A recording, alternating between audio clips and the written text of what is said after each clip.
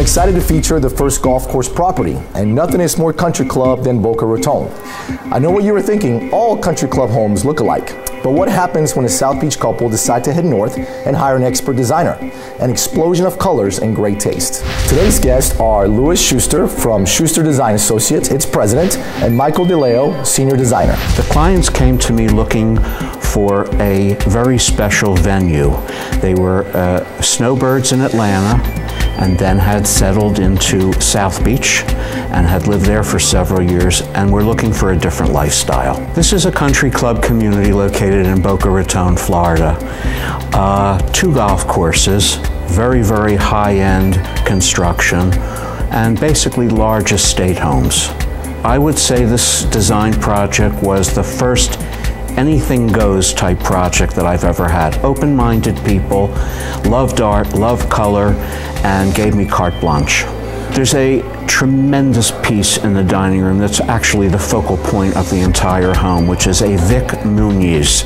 Very rare piece of art, extremely large, and has a, an extraordinary effect on people when they look at it color was important to them. They wanted a happy feeling and they didn't want a boring feeling in Boca Raton, which is normally what you find. So they did give us carte blanche to have as much color as possible and as much pattern and print as possible. With 22 feet ceilings, the best way to get a lot of splash of color was the use of window treatments.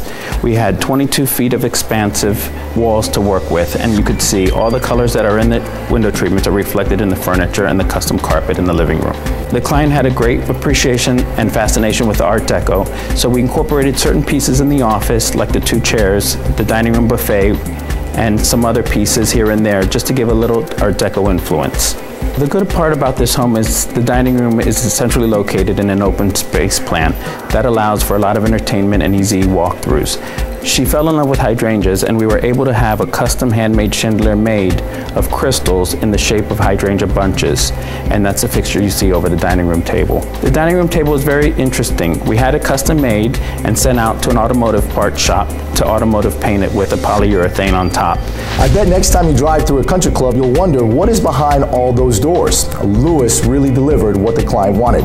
Now, when you can play 18 holes and retire to your artful retreat, that's living in luxury. Living in Luxury is sponsored by CP Design Build.